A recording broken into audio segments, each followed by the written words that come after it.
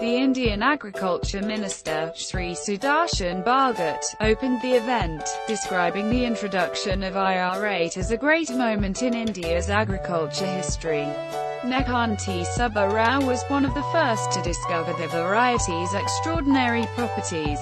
The seed from the 1,000 hectares of IR-8 planted in his village the following year was sent across India, ensuring the entire country experienced its first harvest of what became known as the miracle rice.